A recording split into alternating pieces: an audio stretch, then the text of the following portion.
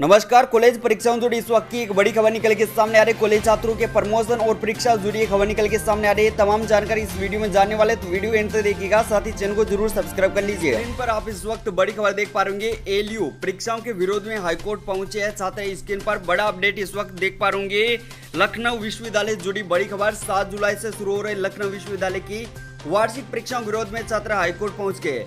High court के लखनऊ वेद के समक्ष छात्रों ने याचिका दायर करके वार्षिक परीक्षा रद्द करने व मास प्रमोशन अथवा ऑनलाइन परीक्षा पर विचार करने की मांग की है। न्यायमूर्ति सौरभ लवानिया की एकल पीठ सदस्य पीठ शुक्रवार को याचिका पर सुनवाई करेगी। देखिए, याचिका पर सुनवाई है, वो शुक्रवार को होगी।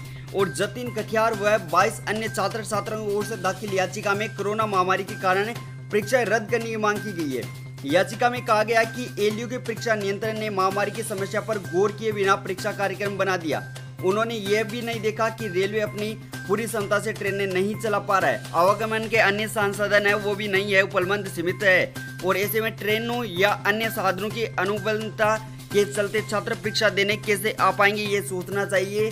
जो लखनऊ विश्वविद्यालय, उनको और इसके साथ ही देखिए, उन्होंने एक और तैयार रख दिया यहाँ पर कि प्रोफेसर भी हो चुके हैं, संक्रमित। जो प्रोफेसर है वो सुरक्षित नहीं है तो छात्र किस प्रकार से सुरक्षित होंगे इनका कहना है कि याचिका में यह भी कहा गया कि एलयू की तीन प्रोफेसर व कुछ स्टाफ कोरोना पॉजिटिव पाए गए। जा चुके ऐसे में छात्रों में, में परिसर आने से उनके अभिभावकों तक संक्रमित होने का खतरा है। याचिका में ऑनलाइन कक्षाओं पर गुणवत्ता पर सवाल उठाया गया है। BBU Lucknow institute of engineering एवं साइंस एंड टेक्नोलॉजी शिवपुर और आईटीआई कानपुर और दिल्ली यूनिवर्सिटी का उदाहरण देते हुए मांग की गई है। और इन संस्थानों की तरह से लखनऊ विश्वविद्यालय मास प्रमोशन है, वो दिया जाए या ऑनलाइन परीक्षा के विकल्प पर विचार किया जाए, ये कहना छात्र संगठनों का। तो साथियों, यहाँ पर जो छात्र संगठन है, वो हाईकोर्ट में याचिका दायर कर चुका है और आपने देखा होगा, हरियाणा में भी एक याचिका दायर की थी, गई थी एनओसी के द्वारा और जिसके बदौलत है सभी छात्रों को प्रमोट किया गया। तो ये फैसला जल्द लखनऊ विश्वविद्यालय भी ले सकता है और इन्होंने साथ ही ये भी तर्क दिया है कि प्रोफेसर भी हो चुके हैं, संक्रमित, इससे बहुत ही ज़्यादा प्रभाव पड़ेगा और हाईकोर्ट इस पर जल्द फैसला देगा। शुक्रवार को इसका फैसला निकल के सामने आएगा।